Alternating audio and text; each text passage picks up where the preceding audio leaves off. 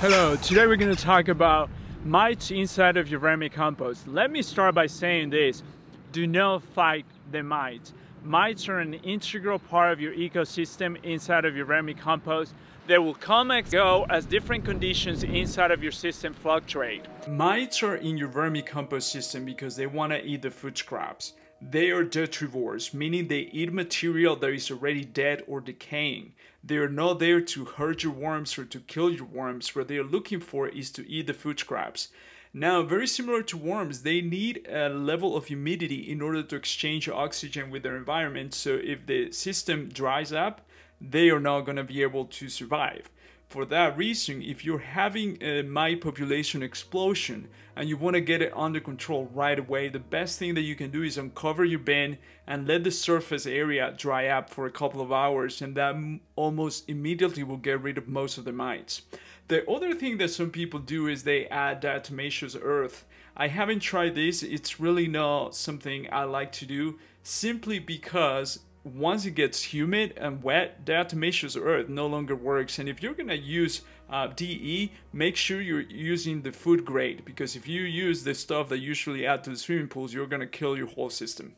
Another great practice to have is to bury your food scraps when you're adding them to your system. And by that I mean making sure you're adding a nice thick layer of vermicompost on top of the new fresh wood scraps that you're adding to the system because the mites are not going to go down to get them and that way you're also preventing flies and other critters to be feel attracted to the smell of fresh decomposing food scraps. Think about it in this way.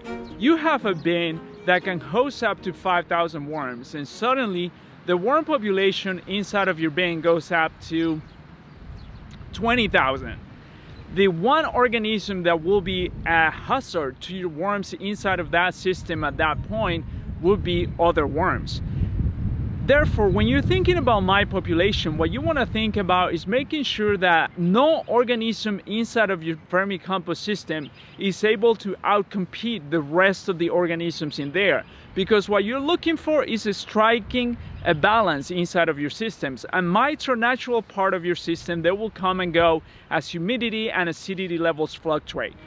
That said, if you're having a mite issue where you see that there is way too many mites that you really think they are an issue, or you're just really annoyed by them and you want to make sure that the mite population is under control, there is two variables that you really want to pay attention to.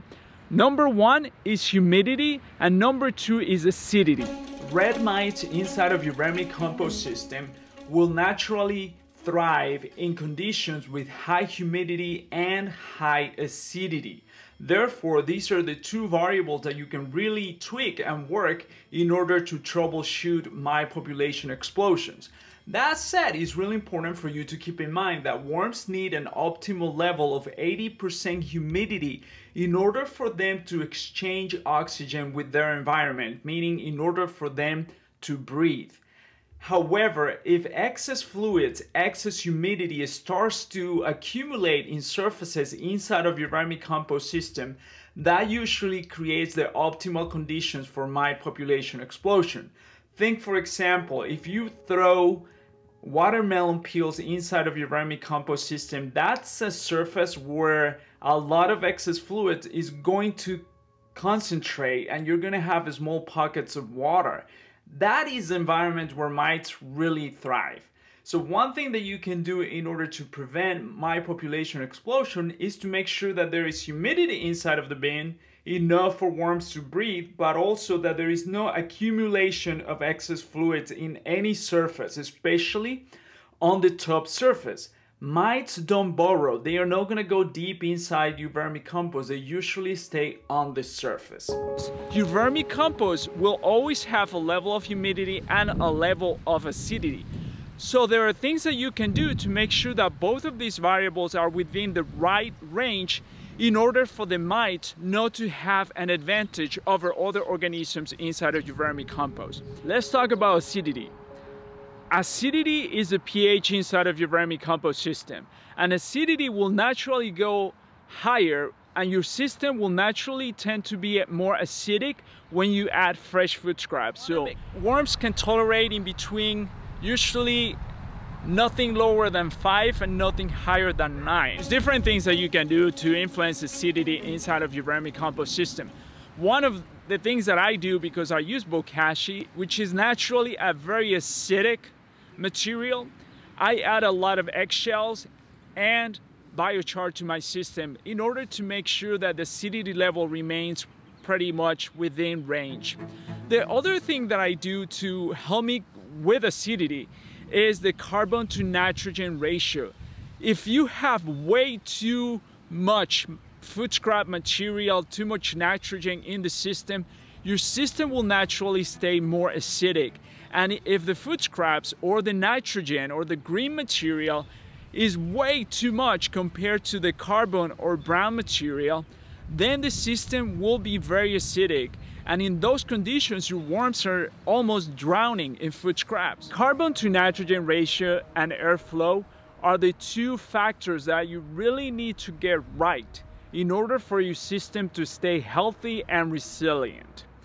My question for you, what are you doing at home to enrich the quality of the life of your worms beyond food scraps and bedding? Please share that with us in the comments so that we may also be inspired by what you're doing. One of the most common mistakes that I used to make when I first started vermicomposting was to overload my bins with food scraps. That means I was breaking the rule of nitrogen to carbon ratio, which should be 50 parts carbon per one part nitrogen or 50 parts brown material or bedding per one part of food scraps. That seems a little bit extreme, but that is actually the ideal ratio inside of your vermicomposting system. And there are ways that you can push that ratio, but when I overloaded my bins with a lot of food scraps, I would create the ideal conditions for mite population explosion, and I would see a lot of mites. Once I really started to pay attention to the carbon to nitrogen ratio, a lot of my mite issues really went away. The other element that you can control to help you with humidity as well as acidity is airflow. Air circulation inside of your vermicompost system is one of the most important factors within your system and we often don't think about it. Inside of your vermicompost system, airflow is going to help you with humidity because the more surfaces that come in contact with air inside of your vermicompost system, the easier it is going to be for excess humidity to travel out through evaporation. Airflow will also prevent the formation of anaerobic bacteria inside of your system, which will cause odors and bad smells to come out of your system. So airflow really is one of the healthiest things that you can do for your system. There's a couple of things that I do to make sure that there is good airflow inside of my system. One of them is I create air pockets. How I do it is I carve out a corner of the bin and then I start placing layers of cardboard. But instead of placing the layers horizontally where they're more likely to compact, I start placing the cardboard vertically. And what that does, it creates a very nice air bubble from the top of the bin all the way to the bottom. So now all the areas that are exposed to that air circulation are going to contribute to evaporation of excess humidity and it's also breaking the surface. So the surface of the bin right now as you can see one area has a lot of composting material and the other area is essentially air hollows and that it's really preventing the compaction and the accumulation of excess humidity on the surface of the composting bin which will be the ideal environment for mite population explosion. So I am breaking the compaction on the surface and then I'm creating a really nice pocket of air circulation inside of the system. The type of material that you use for bedding inside of your composting system will also play a pivotal role in air circulation. One of the reasons why I love leaves as the main source of bedding for my vermicompost system is because they really create the conditions for a lot of air circulation, especially if you're mixing leaves with food scraps in like different layers like lasagna. They tend to create a lot of air pockets naturally and that creates really good conditions for worm health, for microorganisms to thrive and reproduce inside of your system. Like you can see how I feed my worms in some of my other videos. I really packed a lot of food and I really press them hard sometimes. But airflow will naturally stay in the system because of the leaves. Another benefit of leaves is that when they break down and decompose, they break down into trace minerals or trace elements that are essential for plant development and plant health.